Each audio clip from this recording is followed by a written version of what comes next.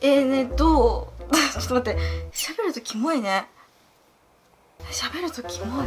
ちょっと待って。ちょっと無理。なんかこういう格好の方がぽくない？はいどうもこんにちは。こんばんは。ひなたです。今日はですね。じゃーん。え待って待って。待ってえー、待って。いけないところに食い込んでる。え割と持ち物が少ない人のバッグの中身紹介やっていきたいと思います。ということで前回のバッグの中身紹介が結構前だったと思うのよ。一番最新にしたとなるとディズニーの時に行く時のバッグの中身紹介みたいなやつだったんだけどなんかちゃんとしたねお出かけ用のバッグの中身紹介をね久しぶりにするということでしかもね可愛いバッグを買可愛いねカバンもねゲットしたということで改めてまたね撮りたいと思います。可愛くないこのバッグ超可愛いよね。これはねどこのかと言いますとモイトゥットのあのー、高橋あかりちゃんって知ってます？インスタグラムから私は知ったんだけどお洋服のブランドもやってる方なんですけどもその高橋あかりちゃんが持ってるブランドのバッグです。すごいいの。ちょっとね、今日の動画はバッグの中身の話なんだけど、その前に、あのね、モイテットのコートをね、すごいね、可愛いいのを買ったの。だからね、まあね、後々コーディネートの紹介とかで紹介しようかなって思うんですけども、すごい可愛いいのを買ったの。で、そうそう、そこのブランドのやつです。可愛いいよね、これ。先にね、バッグの紹介から行くんだけど、モイテットのバッグのお値段が、私はね、ブラウンのカラーを買って、税込み4950円でした。私の中だったら、なんか4950円70円払っても欲しいっていうぐらいの可愛さだったんで買いましたって感じ。で、すっごいね、形もしっかりしてるし、生地もすっごいいいので、まあ、これを払う価値あるんじゃないのかなって思いますね。色がね、ベージュとブラウンがあるんだけど、前の紹介したやつも、ブラウンみたいな、ボルドーカラーだったんだけど、このね、ボルドーカラーね、秋も夏も冬も春もどれも使いやすいの。夏にこのバッグの色持ってても全然浮かないしもう冬なんかも最高でしょ。秋も最高でしょ。春持ってても全然浮かないからこういうねボルドーカラーとかブラウンカラーのバッグを一つ持っとくとどんなコーディネートにも合わせやすいからいいかなって思います。でちなみにこれねここのストラップの部分があるんだけどこのレザータイプと布タイプもついてきました。で私はねあの全部同じ色がいいのでまあレザーのやつつけてるって感じです。本当に可じゃあやっていきたいと思います。まあね今回のあのタイトルまあ私は割と荷物が少ない人間。割とね割とだから割と荷物が少ない人のバッグの中身っていうことでやります。はい。じゃあこのバッグね開けてみるとこんな感じ。じゃじゃーん。こんな感じになってます。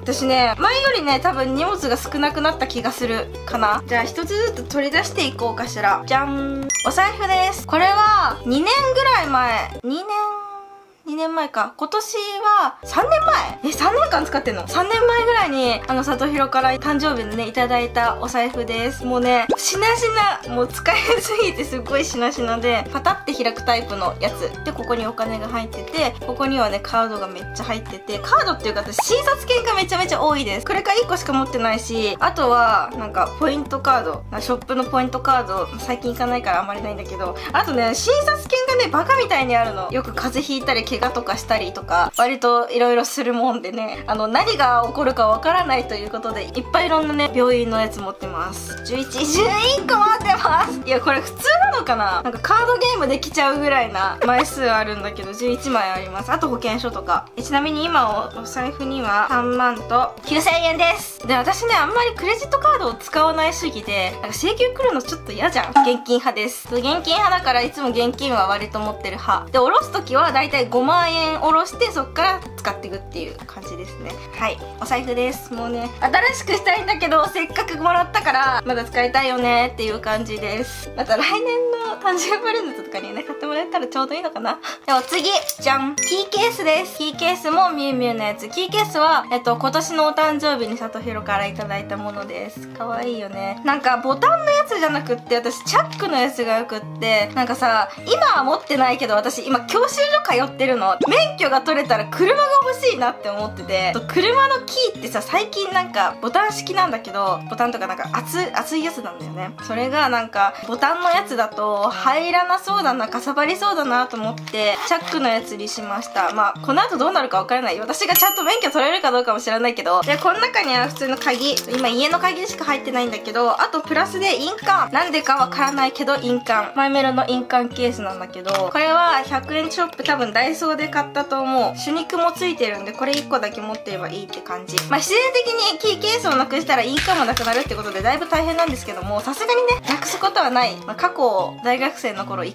回か3回ぐらい道端に鍵を落としまして運よく拾ってくれた方が良かったのかちゃんと交番には届いて全部私の手元に戻ってきたんですけどもまあキーケースはねさすがになくさないよねっていうね。言うてね私マジで本当に少ないんだけどはいモバイルバッテリーです。これはどこのだっけ？アンカーのやつ。私なんかすごい可愛いねポーチとかねそんな持ってなくって。あのこれはアンカーのこの充電器を買った時についてきた袋です。そのまま使ってます。これね。なんかメッシュのなんか衝撃吸収されるやつ。私が持ってるやつはこれです。2.5回2.1回だっけな？それ2.5回だっけな？2回は多分充電できたと思うやつです、まあ、これはね絶対持ち歩く。であとは、えっと、ライトニングケーブル。ね私さ 10S Max を今使ってるんだけどこれ11 Pro Max を買い買いたいと思います。ちょっとねまだ発売っていうか予約開始してなくって。この11 Pro Max が11月6日からだっけな？6日からなんだけど。6日過ぎたら私は予約するよ。そう考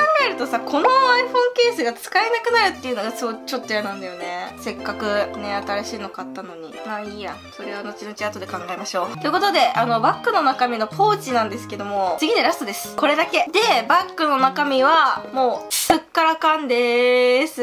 あとねバッグの紹介になるんだけどここにねチャックがついてるポケットがあってこの手前側にもねちょこっと入るようなポケットがついてるんだけどこれはこの前ポケモンカフェ行ってきたんだけどポケモンカフェで出たポスターです。ルカリオとゴンベ。でバッグの中身は以上ですね。で最後に出したこちらのポーチ。これはねファンの子からいただいたポーチでございます。ありがとう使ってます。なんかこれ全部ね周りがスケルトンで見やすいのでこれ使ってるって感じなんだけどこれにメイク直しのコスメだったりいろいろ入ってるんだけどこれ1個ずつ紹介していきます。ではまずねこちら。じゃん。アルコールジェルです。まあこのご時世なのでアルコールジェルを必ず持ってるんですけどこれは容器は100円ショップのやつでジェルはこれプレミアムハンドジェル。これをあの入れ替えて使ってます。外でなんかご飯食べる時にちょこっとねつけたい時とかにつけてます。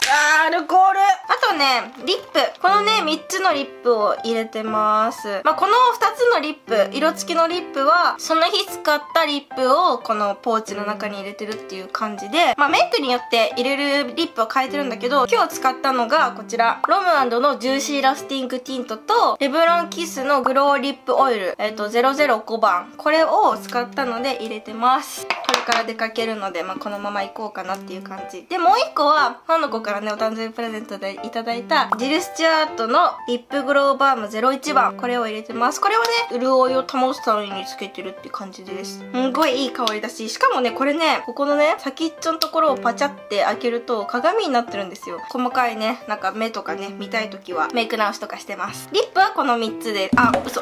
リップあともう1個あります。メンソレータムですね。どんなカサカサな唇の人もきっとカサカサじゃなくなるでしょうっていうリップ。であとはこちらイニスフリーのノーセバムミネラルパウダー。これは普通にお化粧直しとして持ってるっていう感じです。私ねマスクするっていうのもあって化粧直しのコスメをあんまり持ち歩かなくなりましたね。でもね実際マスクするからいいやって思うよね。目元なんかさ加工アプリがあるじゃん。だから加工アプリでなんとかなるっしょっていう。アイシャドウとか眉毛とか昔はね持ち歩いてたんだけどそれも持ち歩かなくなりました。であとはコンシーラー。24H コスメのミネラルスティックファンデーション。これを持ち歩いてます。このねコスメはこのリップとパウダーとファンデーションまあスティックファンデーションの3つを持ち歩いてます。まあこれはまあまあ私の動画をめちゃめちゃ見てくれてる子ならわかると思うんだけどスティックファンデーションなんだけど私はコンシーラー代わりに使ってます。コスメは以上。で残ったのが紙縛るゴムね。これダイソーのやつ。これダイソーのやつなんだけどさ絶対さここから開かない？開け口ここなんだけどさ絶対横から開くんだよね。でもまあ取り出しやすいので入れてます。あとは普通の太いゴムとヘアピンだね。これもダイソ装で買いました。あとはメイク落としです。ピオレのメイク落とし。まあ普通に化粧落としたいなっていう時に落とすやつね。まだ使えるかなこれ。こういう系ってさいつの間にかカラカラになってる時とかあるけど私はまあ今回は大丈夫でした。であとはこちら。これもねファンの子から頂いたんだけどラプンツェルの鏡です。これはねこんな感じで二面鏡になってます。こんな感じでねめちゃめちゃコンパクトなんでポーチの中に入れてます。あとはロコイド。これ軟膏なんだけど私ねどっかがね肌荒れとかしたりとかするとお医者さんに行ってもらったので持ち歩いてます。てかさ医者に行って薬もらったって言っちゃうよね。実際私買ってるんだけどねっていう。でラストこれパスもいくら入ってるかもわからないしなんか後ろに有名な人のがなんか作家さんみたいなあの音楽家みたいな 写真があってあるね。これね大学生の時に使ってたやつなんだけど多分友達が勝手に貼ってそのまんまっていう感じです。ということで私のバッグの中身は以上でございます。合計ですねポーチ1つとキーケース1つとお財布1つとモバイルバッテリー1個。えっ、ー、とこのね4つですね。4つしか入ってないです。これは果たして荷物が少ないというのか多いというのかわからないですけども割となんか少ないんじゃないのかなって思います。昔はなんかトートバッグとかあったんだけど別にそんなに持つものないしなんか使わないしっていう感じでだんだんと荷物が少なくなった結果でございました。でたまにお仕事とかでねこれね iPad とか持ってく時はこれねディズニーのやつなんだけどこのトートバッグに入れたりとかしてます。で携帯とかは私ねこのストラップ付きのやつを持ってるんでこれをつけたその上からこういうストラップのやつをこうやって持ったりとかしてます。あとねこれ AirPods だね。AirPods 横にいつもつけてます。ここの横に。あの初期の AirPods なんですんごい汚いんだよね今。ケースもねこのハートのやつめっちゃ汚くなっちゃってあんま近くで見せられないんだけど